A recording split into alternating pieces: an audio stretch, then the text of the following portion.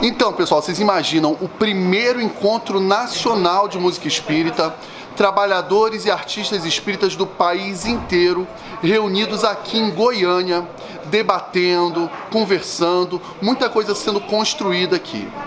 A gente está aqui com alguns dos idealizadores desse encontro nacional, Ana Rita, Daniel. Que, que vocês acharam? Qual foi a percepção? Valeu a pena esse encontro? O que, que vocês viram acontecer?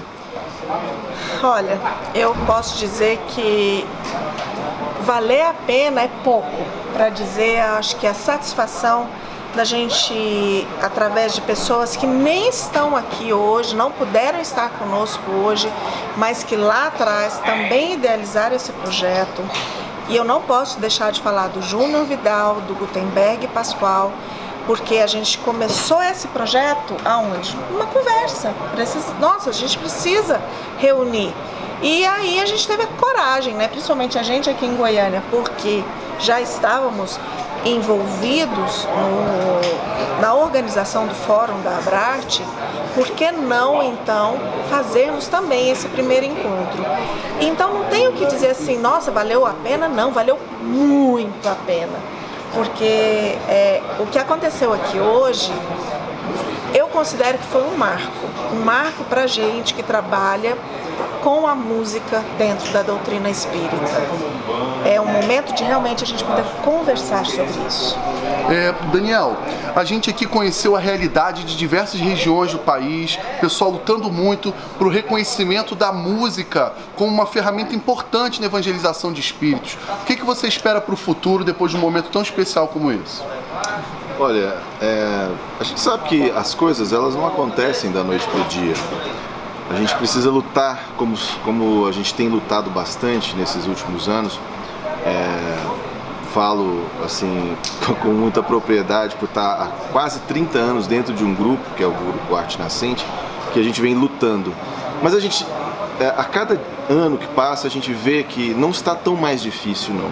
Muito pelo contrário, as pessoas têm entendido o papel da música, o papel da arte na divulgação da doutrina espírita, na confraternização das pessoas dentro das casas espíritas através da, da arte, a utilização da arte em diversos momentos dentro da casa espírita, né? evangelização, que é extremamente importante, não só de crianças, porque quando a gente fala de arte, a primeira coisa que se vem na cabeça é a evangelização de crianças, mas não é evangelização de jovem, evangelização de adulto, através de palestras cantadas, que são é, vamos dizer assim, mecanismos muito importantes para se divulgar a doutrina.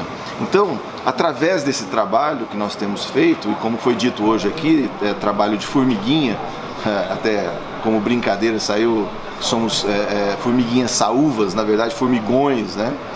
por causa do, do, do, da importância desse trabalho, é, eu acho que isso vem ao longo do tempo se consolidando e para o futuro eu tenho certeza absoluta que nós vamos conseguir demonstrar pela prática que a arte realmente é um dos grandes mecanismos de transformação do ser humano e com ah, o, o, conteúdo espírita dentro da, do veículo arte, isso se torna uma, um, uma coisa extremamente fácil. E todo mundo vai perceber isso logo, logo.